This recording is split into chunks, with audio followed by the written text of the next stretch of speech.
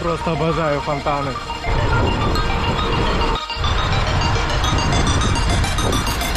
Я тут встретился с Лилианом, Николаем. Может, еще кто-то присоединится к нам. И мы сегодня едем в психиатрическую больницу.